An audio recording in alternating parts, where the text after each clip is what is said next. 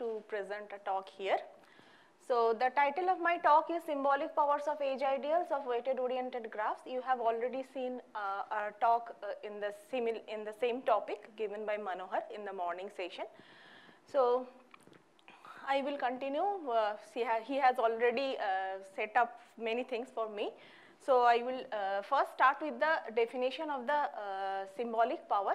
So in a Noetherian ring, if I is an ideal, then the nth symbolic power is defined as the, in this way, where we are uh, considering the extension of this uh, in the local uh, localization and then contracting it back, and we are varying this intersection over all the associated primes. So this is uh, the more general definition of the symbolic power. And then there are certain properties that symbolic power satisfies. Uh, first of all, that the ordinary power is always sitting inside the uh, symbolic power. And then if A is greater than equal to B, in that case, Th symbolic power is sitting inside the Bth symbolic power, and we have this property as well. Now, in general, uh, this ordinary power is sitting inside the symbolic power, but may not be an equality. So, why the symbolic power is important? That is because of this uh, um, theorem by Nagata and Zariski. It gives you some geometrical importance why the symbolic powers are important. So Zagata, Nagata and Zariski proved that if you are in a, uh, if you have a perfect field, and I is a radical ideal in this polynomial ring, in that case the nth symbolic power is nothing but the collection of uh, all monomials, uh, all polynomials which vanish up to order n along this variety of this ideal. So that is why uh, symbolic powers catches more information than the ordinary powers and that's why it is uh, important uh, in, to study. So now as the uh, title suggests, we are studying the symbolic power of weighted oriented graph. So let me give you first some graph theoretic preliminaries for this. So first I will talk about simple graph and then I will go into the uh, weighted oriented graph. So what is a simple graph? A simple graph is nothing but a ordered pair where we are ha uh, uh, having this uh, two sets. One is the set of vertices that I have denoted by V of G and EG denotes the set of uh, edges which is nothing but the two elements subsets of the set of vertices. Now, uh, when, uh, so in this talk what we are trying to do, we have this, uh, we are trying to uh, uh, consider the uh, algebraic objects coming from the graph theory.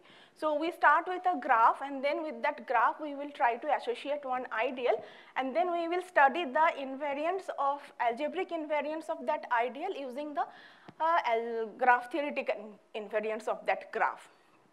So the ideal that we will study here is the edge ideal. So what is the edge ideal? So edge ideal is generated if you start with the graph G, then you consider first the polynomial ring in uh, as many variables as many vertices you are having in the graph. And then in that polynomial ring, you define this ideal Ig which is generated by the edges of this graph. So this algebraic object we will study the properties of this ideal using the properties of the graph, graph theoretical invariants. So uh, let us see one example here first. So here this graph is this uh, triangle x1, x2, x3. It has three vertices. So then, uh, then corresponding edge ideal will be generated by these three edges x1, x2, x2, x3 and x3, x1. So this was the simple graph and it has, uh, the edge ideal of a simple graph has already been studied a lot in the literature and many things are already known. In fact, the description of the symbolic powers are also known for some classes and uh, regularity and all those things has been studied extensively.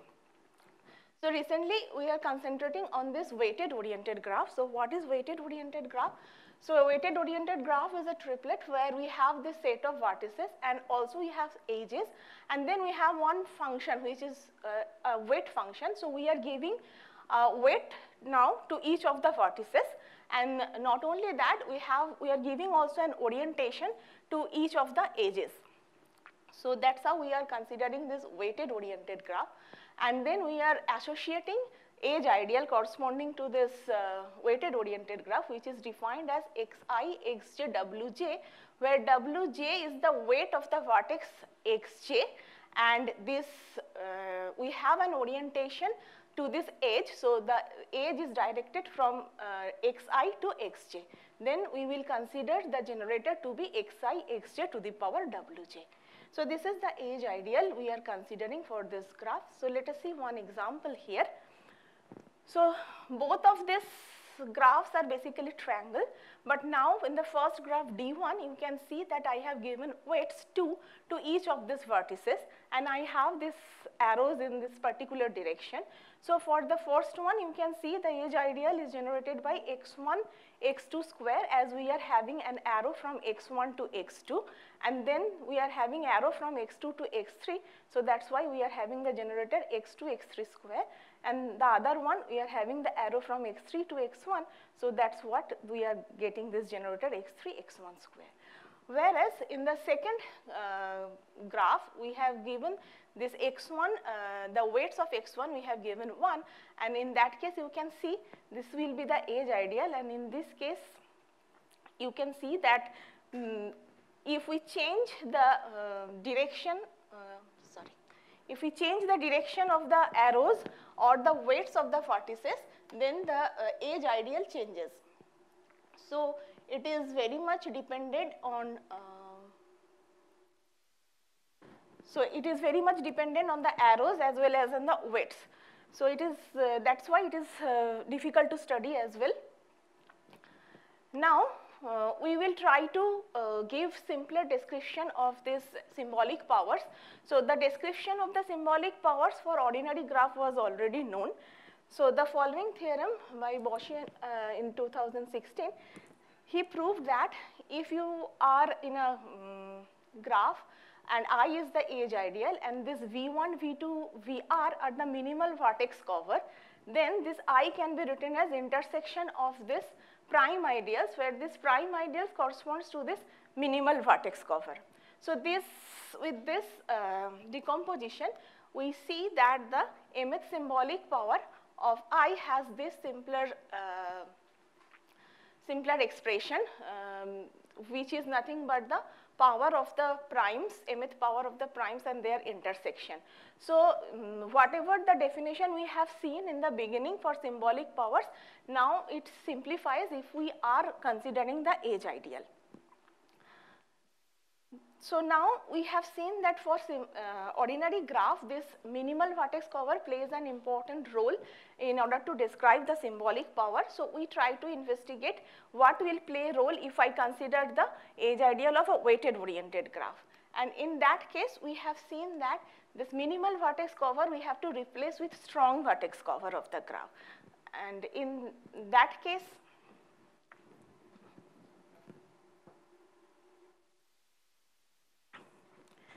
So if we replace this uh, minimal vertex cover with strong vertex cover, then we have some kind of similar result that we were having for the uh, simple graph. And then we, uh, Cooper uh, in 2017 have proved that in this case also we have a simpler description of the symbolic power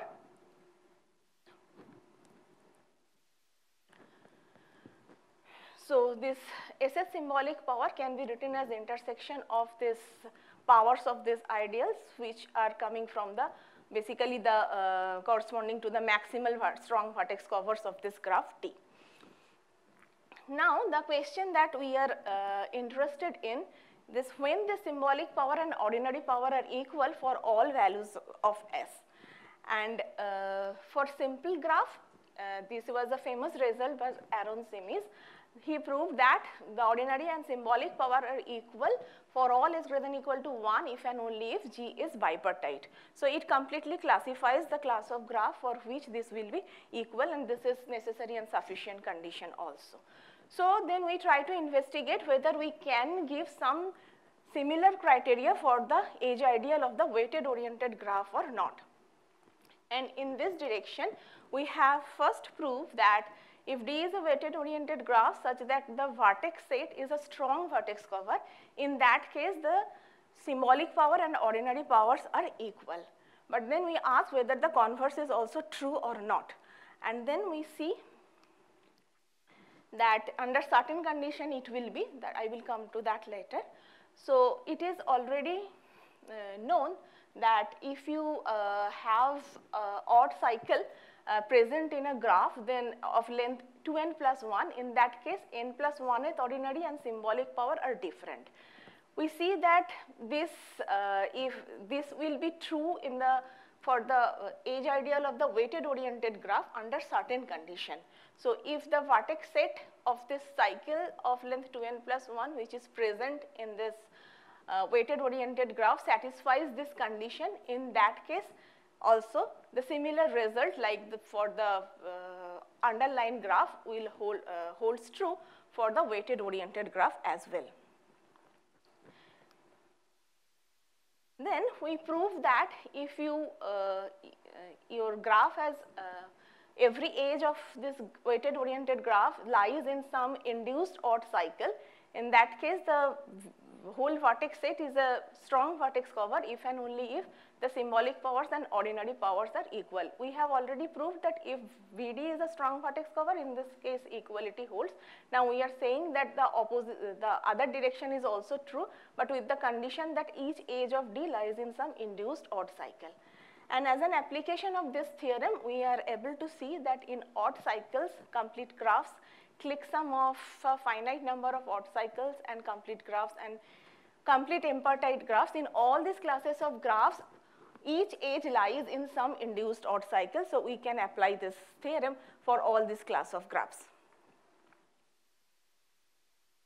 Next, we have uh, proved that uh, if we are having an unicyclic graph with a unique odd cycle of length 2n plus 1, in that case, the symbolic powers and ordinary powers will be equal for all s greater than equal to 2 if and only if the weight of uh, those vertices which whose degree is greater than equal to 2 has to be greater than equal to 2. In this case also this equality holds and it is an if and only if as well. Then we also have uh, in the further direction we have proved that previous result was for unicyclic graph and this one we have seen that if you have a naturally oriented even cycle, in that case uh, of length not equal to 4, in that case this equality holds if and only if all the vertices of D have non-trivial weights. That means all the vertices of this graph has to, has to have weight greater than equal to 2. And uh, for uh, length of cycle 4, in this case, this will be equality if one of these conditions are satisfied. Either all the vertices have non-trivial weights or one vertex has non-trivial weight or only uh, two non-consecutive vertices have non-trivial weights. Further, uh, in order to compare uh, this uh, symbolic power of uh, ordinary graph and the weighted oriented graph, we have used this map. So we have defined this map from the polynomial ring to itself where V plus D is the set of vertices which are sink. The sink has already been defined in the uh, talk of Manohar and U is a subset of this V plus D. In that case, we are defining this map. We are sending xj to xj if xj doesn't belongs to U and xj to xj to the power wj if xj belongs to U. So, in this way what we are trying to do is that uh, if you see that if I take my u to be equal to v plus d, in that case i is the edge ideal of this weighted oriented graph and d prime becomes the underlying graph and i tilde becomes the edge ideal of the underlying graph. And in that case we have seen that this ordinary powers and the symbolic powers behaves in a similar way. And using this map we are able to prove that the edge ideal of the weighted oriented, uh, for the weighted oriented graph, symbolic power and the ordinary power will be equal if and only if they are equal for the underlying graph. And similarly, using this result, we are able to prove the generalization of Simis' result for weighted oriented graph. We have proved that D is a weighted oriented graph where the vertices of V plus D are sink Then G is bipartite if and only if ordinary and symbolic powers are equal for all s greater than equal to 2. So here we need the assumption that V plus D, vertices of V plus D are sink. Then similar result of Simis holds here as well. And uh, we have also seen that if we are in a star graph, in that case also the symbolic powers and ordinary powers are equal. So this gives uh, the equality of symbolic and ordinary powers for certain classes of graph which sometimes gives the necessary and sufficient conditions also. And um, still the description of the symbolic power uh, in general it is not known for weighted oriented graphs and um, uh, there are uh, many questions which are still open in this area and uh, that's all I would like to say. So these are the references. Thank you.